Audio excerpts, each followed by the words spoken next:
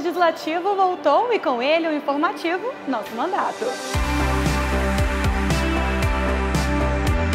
Os trabalhos na Câmara mal começaram e a deputada federal Paula Belmonte já cobrou explicações do BNDES, que contratou uma auditoria de 48 milhões de reais e não encontrou nenhuma irregularidade.